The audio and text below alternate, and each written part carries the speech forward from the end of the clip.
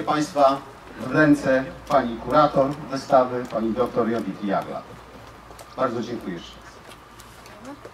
Witam Państwa bardzo serdecznie na już kolejnym e, wernisażu w Szpitalu Świętego Ducha. Miejscu, które, e, tak jak zawsze podkreślam, ma niezwykłą aurę, ale też szczególną historię. I ta historia inspiruje do tego, by tworzyć tutaj wystawy nieco odmienne, nieco inne.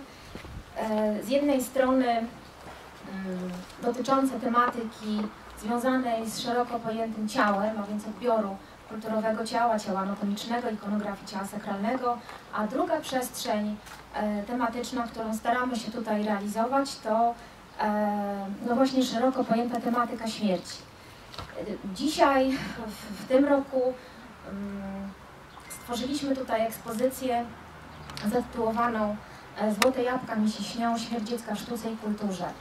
Ten pierwszy człon tytułu mm, jest cytatem z trenu Samuela Twardowskiego, który napisał ów tren dla swojej zmarłej córki, po śmierci swojej zmarłej córki Marianny. E, Te jabłka są mm, z jednej strony symbolem Królestwa Niebieskiego, w którym miały przebywać dusze dzieci ochrzczonych, a więc ta przestrzeń szczęśliwa, ale jednocześnie stanowią w owym wierszu metaforę raju utraconego, raju mm, pozbawionego szczęścia, czyli tego raju ziemskiego, który jest dany e, rodzicom, którzy to dziecko stracili. I y, właśnie ten wątek y, uznałam, że będzie bardzo ciekawy dla stworzenia ekspozycji i by pokazać taką ekspozycję poświęconą śmierci dzieci, ale pokazać ją z perspektywy mm, rozpaczy czy przeżyć właśnie rodzica. Jak Państwo będą mogli zobaczyć, ekspozycja podzielona jest na trzy części, na trzy obszary. Część pierwsza to przestrzeń poświęcona e, świętym patronom, a więc e, tym świętym, tym uzdrowicielom, którzy w literaturze hagiograficznej, w, mm, w sanktuariach, w księgach mirakularnych byli opisywani jako ci najważniejsi święci, którzy dzieci uzdrawiają, którzy wskrzeszają.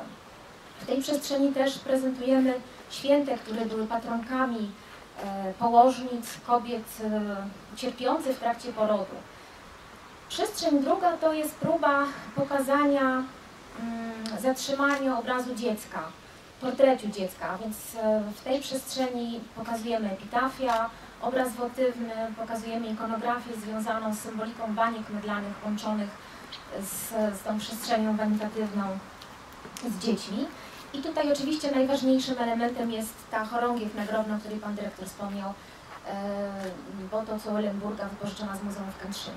I część trzecia, ostatnia, to jest e, część, która prezentuje mm, rytuały pogrzebowe, a więc jest poświęcona ostatniemu pożegnaniu. Tutaj mamy zarówno rekonstrukcję dziecięcych strojów grobowych, e, mamy konsolę na koronę śmierci, e, Najważniejszym elementem w tej przestrzeni jest e, przepiękny XVII-wieczny portret imienny dziewczynki wypożyczony z Muzeum Archidiecezji Gnieźnieńskiej.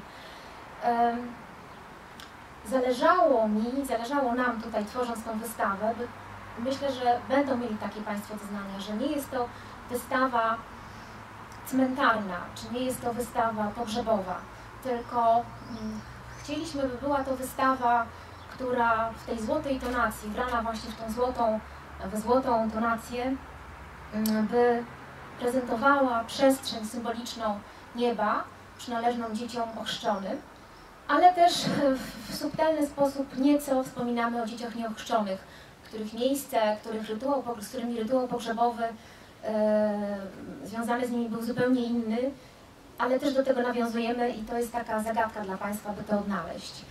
E, ta wystawa rzeczywiście jak pan dyrektor mówi, była bardzo trudna, to znaczy nie tylko tutaj dla nas do, do, do przygotowania, ale powstawała przez półtora roku, w tym takim najgorszym okresie epidemicznym, kiedy wiele instytucji było zamkniętych. Z czasem tych instytucji było zamykanych jeszcze więcej. W sumie te relacje takie międzyludzkie, ale też międzyzawodowe były trudne. E, Wiele jakichś przestrzeni było zamykanych i to naprawdę e, muszę przyznać, że z takiej perspektywy wystaw czasowych, które robimy, no po prostu bardzo trudna wystawa do przygotowania.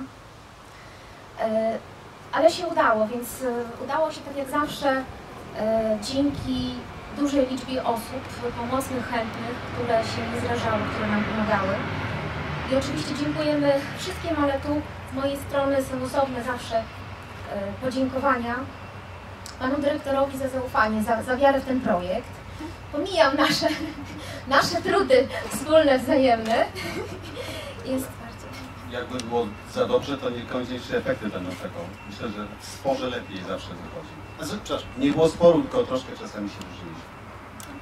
Na korzyść Nadal, koleżanek. nadal się różnimy. Ale bardzo dziękuję za wsparcie. Zawsze w przypadku jakichś takich trudnych, okrutnych zakrętów, e, no mam, mam wsparcie w panu dyrektorze i to jest ważne. Także bardzo serdecznie dziękuję za pomoc. E, Wszystkim użyczającym oczywiście bardzo dziękujemy instytucjom muzealnym, instytucjom kościelnym. Niestety nie ma dzisiaj z nami pani dyrektor Marty Wojciechowskiej, która dzisiaj się okazało, że nie może przyjechać, ponieważ e, przygotowuje bardzo ważną wystawę, którą tworzy w przyszłym roku i dzisiaj przyjechały jakby? W przyszłym tygodniu, tak, ale dzisiaj przyjechały te ważne obiekty, które, które musiała dzisiaj odebrać niestety.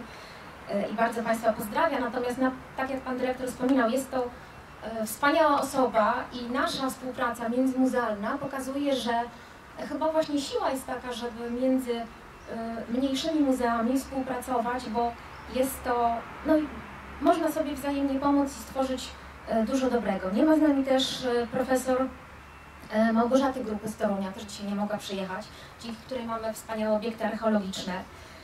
E, Dziękuję też nieobecnej siostrze Natanaeli, która przyjedzie do nas w innym terminie. I to jest osoba, która dokonała autentycznego cudu dyplomacyjnego, e, dzięki której mm, pewne pertraktacje, które trwały przez rok, Zakończyły się pozytywnie. zakończyły się pozytywnie. Także bardzo serdecznie jej dziękujemy.